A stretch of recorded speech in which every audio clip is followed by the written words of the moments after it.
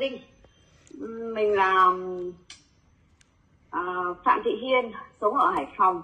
À, mình sinh năm 1974 ờ, ờ, và à, Hiên cũng xin chia sẻ rất là ngắn gọn. Năm 2016 thì Hiên bị một cái căn căn bệnh là à, mất canxi không bù nghĩa là móng mà nó cứ vào vào vào xương của mình để nó vay mượn canxi ra hàng ngày.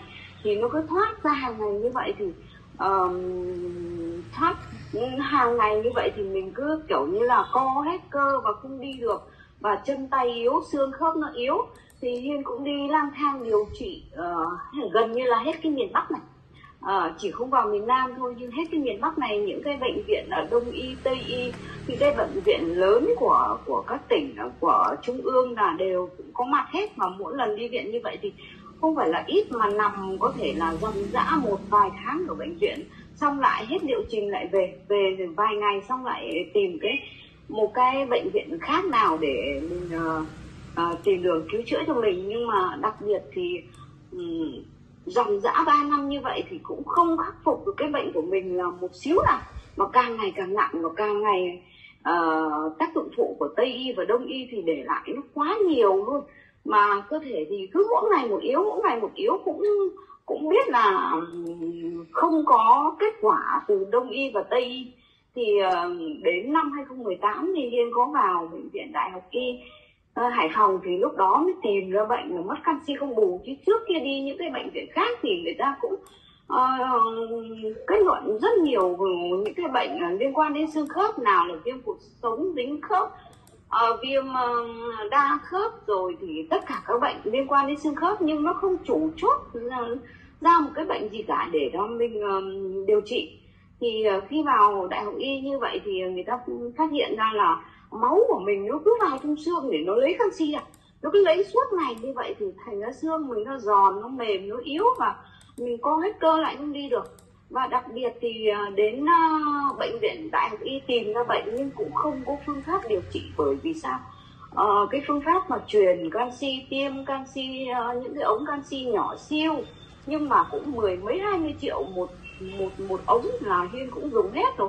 Nhưng mà đủ liệu trình như vậy thì uh, cũng không ngăn chặn được máu nó lấy canxi ra. Mà khi mà mình vào viện mình, mình truyền canxi như vậy thì nó cũng không vào được xương là bao nhiêu cả mà nó chỉ có đau đớn quằn quại và lúc đó thì để lại tác dụng phụ thì quá nhiều luôn. Đến tháng 5 à, năm ờ, 2018 thì ờ, đại học y ờ, có bảo là chúng tôi không điều trị được cho chị nữa. Thì uh, mong người nhà uh, cho chị về. Và lúc đó cái bệnh uh, án của hiên mang về đấy thì nó rất nhiều cái tác dụng phụ và tây y không thể khắc phục nữa. Và đông y thì lại càng không khắc phục được um, đó là như là suy tim độ 2 này chảy máu dạ dày này xẹt hết hai lá phổi do mình làm lâu quá. Và trĩ đại tràng à, biến dạng tất cả các xương trong cơ thể. À, người hiên thì cao mét sáu ba nhưng bây giờ nó lùn nó lùn một mét bốn mươi thôi bởi vì các đốt sống của mình nó xẹp xuống. Nhưng mà lùn như vậy thì chân ngược lại chân thì vẫn dài bởi vì các khớp đốt sống nó xẹp thôi chứ chân thì không xẹp bao nhiêu. À, men gan thì cao 500 nên có thể là mình bị suy hô hấp gan chết bất kỳ lúc nào nên là viện người ta cũng không muốn để đó. Và suy thận này đại tràng thì không ờ, tự chủ. Và thừa canxi huyết rất là nhiều. Nhưng mà lại ờ, thiếu kali máu nữa. Và những cái kali máu ấy thì ờ, bệnh viện người ta nguy hiểm người ta sợ lắm. Tiếp nhận những cái bệnh mà à, thiếu kali máu thì có thể chết bất kỳ lúc nào. Người ta cũng không muốn để mình ở đấy đâu thì người ta cho mình về. Cho mình về thì hiên cũng không đầu hàng và hiên cũng mời bác sĩ đông y tây y về khắc phục tại nhà, nhưng mà cũng không được làm gì cả. Và khi đó thì hiên tiếp cận được cái sản phẩm uli này. Và tiếp cận thì dùng cái sản phẩm này trong vòng 3 tháng thì hiên tập ờ, đi và tập đi rất là mạnh. Ờ, có những cái động tác khó, mình uốn dẻo hơn một chút thì có thể là ờ, để cho mềm cơ ra thì mình không may bị gãy xương và à, gãy rất nhiều xương sườn và trong khi đó thì viên vào bệnh viện tiệp à, Hải Phòng để, để nẹp lại xương uh, chân.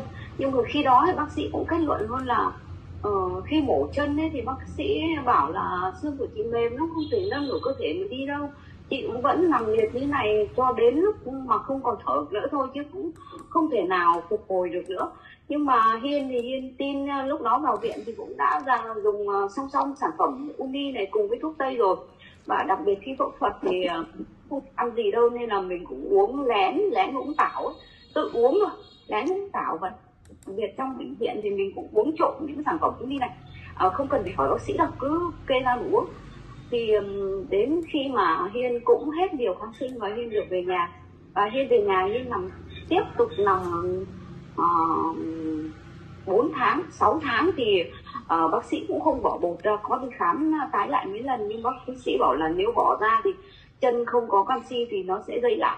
Thì đặc biệt như vậy thì hiên cũng tự tháo bột ở nhà và khắc phục tại nhà và từ bấy giờ là hiên dùng đồng loạt những sản phẩm uy chứ không cũng không dùng tây y nữa không dùng một xíu nào tây y và đặc biệt đến bây giờ thì uh, cơ thể dùng canxi uh, công nghệ gen nhiều thì cơ thể đã cao lên một m năm mươi. Một m năm mươi và đặc biệt là khỏi được ừ, 8 đến 90 phần trăm tất cả các bệnh trong cơ trong trong trong cơ thể. À, đó là một cái điều mơ ước lắm rồi bởi vì mình bị bệnh như vậy thì không thể nào khắc phục lại một trăm phần trăm được mình 8 đến 90 phần trăm là một cái điều cực kỳ là là là mong ước của gia đình. Và chính vì yêu sản phẩm và muốn lan tỏa giúp uh, lan tỏa cái sản phẩm này giúp tới tất cả mọi người những cái bệnh nhân nặng giống mình để tiếp cận được với sản phẩm uh, tốt như vậy để để khắc phục lại cái sức khỏe và và và cái bệnh tật ừ, của mình.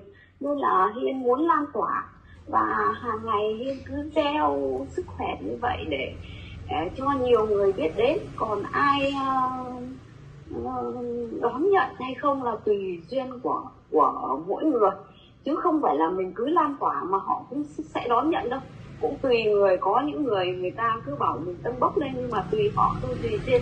Nên là hiên yêu sản phẩm uni và hiên muốn lan tỏa với tất cả cộng đồng như vậy và đối với sản phẩm uni thì nói hai cái từ biết ơn thì nó không đủ. Và nói biết ơn với ác chính phúc thì càng không đủ. Vô cùng vô cùng biết ơn những cái sâu sắc với những cái sản phẩm uni này và áp chính phúc à, để hiên chia sẻ đến đây coi như là hết ạ. Cảm ơn chị. Rất là tuyệt vời, đúng không? Chị đang rất là xúc động. Chị đang rất là xúc động.